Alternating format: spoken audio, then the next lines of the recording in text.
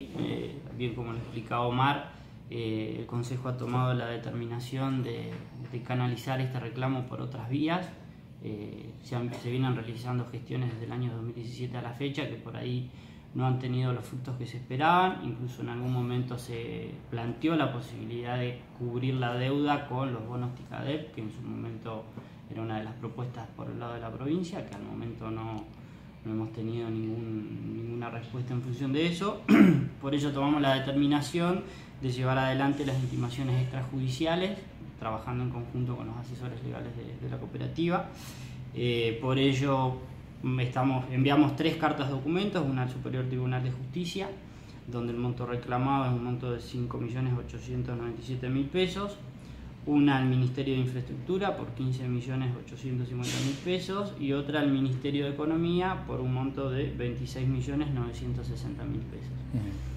Esto salió ayer, así que seguramente en los próximos días ojalá y esperemos tener buenas noticias o por lo menos eh, tener una devolución del otro lado como para poder encontrar algún punto y, lograr concretar un acuerdo que indudablemente a la cooperativa todo este gran monto de dinero viene generando un perjuicio importante en las arcas de, la cooperativa. ¿Hasta a esta altura del partido es posible hablar de negociación o financiación?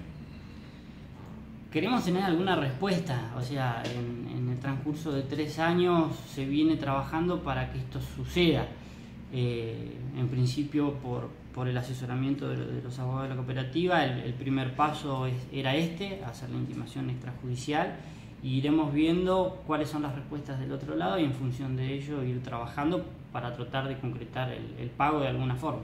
¿El monto global de cuánto es? Ronda los 47, 50 millones de pesos de deuda histórica. Eh, mm. Estamos hablando de la deuda que se originó en el año 2017. Esto indudablemente actualizado el monto sería otro. ¿Qué se aduce desde el Estado? Por el momento nada. Eh, sinceramente eh, se han realizado infinitas gestiones con, con, los distintos sectores involucrados, con los distintos ministros y demás, pero por el momento no, no hemos tenido respuesta. Eh, siempre se aduce lo mismo, digamos, la situación crítica de la provincia, pero esa situación crítica se traslada para la cooperativa y genera un injusto también con respecto a los demás usuarios, porque tenemos una provincia que por ahí no está cumpliendo con lo que debiera de cumplir con esta deuda y vemos en el mes a mes que todos los usuarios hacen el esfuerzo de poder cumplir en la medida de lo posible con su factura de su casa, con la de su comercio, sumado a este, esta pandemia que nos viene a generar un, desbarajuste a nivel general.